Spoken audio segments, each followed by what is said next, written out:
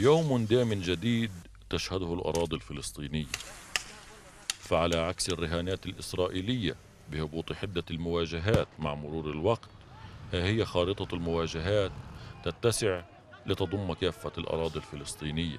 اليوم الشباب كلها نازلة من وراء الإجراءات الإسرائيلية اللي اتخذوها بحق شعبنا يعني إعدامات لشباب شعبنا.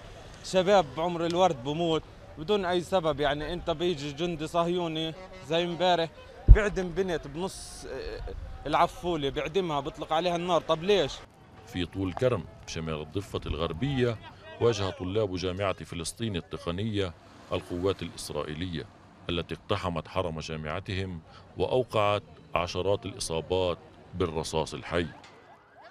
وفي نابلس اتجه مئات الطلاب من جامعة النجاح إلى حاجز حوارة. واشتبكوا مع الجيش الإسرائيلي الذي قمعهم بالرصاص الحي مصيبا 35 منهم. وفي الخليل اعتدى الجيش على المشيعين في جنازة الشاب إبراهيم عوض فأوقع ما يزيد عن خمسين إصابة منها أربعة بالرصاص الحي.